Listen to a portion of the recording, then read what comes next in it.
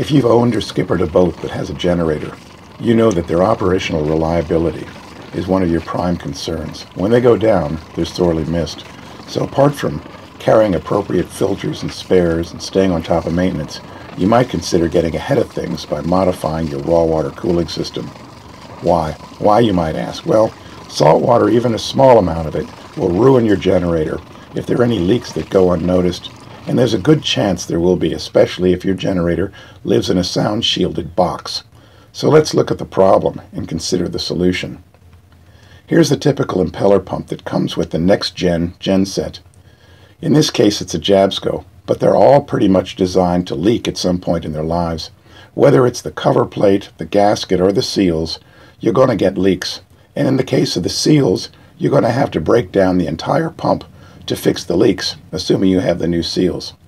So how about doing away with the Jabsco? How about getting rid of the leaks altogether and without causing a bigger problem later?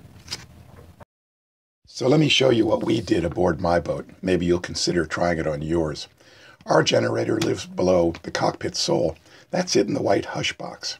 As we come in on it, you'll see my solution was to remote mount the raw water cooling pump in the form of a fully waterproof and highly reliable 110 volt magnetic drive pump. Of course, this pump must be installed below the waterline to work, but if the flow rate meets the manufacturer's requirements, you'll have minimized the probability of destructive saltwater leaks. So let's check the specs and run through the installation notes.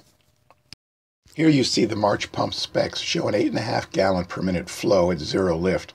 Our cooling flow circuit lifts water to the siphon breaker, which is about 2 feet above the water line, yielding over 7 gallons per minute, well above the required 6.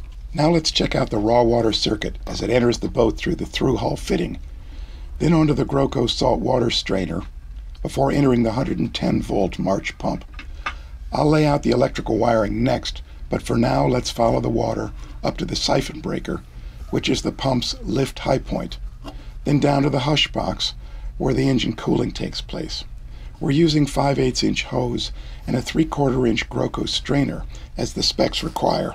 Wiring the 110 volt pump is not problematic if your generator representative will give you specific instructions as mine did. Then, like me, you'll need a licensed marine electrical technician to inspect or make the wiring connections before you test it. That being said, let's look at the hookup that runs my 110 volt pump. Simply put, the pump plugs directly into the generator's electrical box using its unused 50 amp breaker stud for the black, while the other two both go to the ground stud at the other end of the box. That's it. No on off switch, no panel breaker, and no long wire runs. When the engine starts, electricity goes directly to the pump, and it's not dependent on the main switch.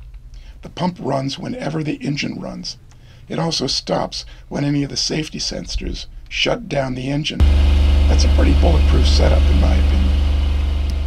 So there it is, about a $275 dose of preventative maintenance for your consideration.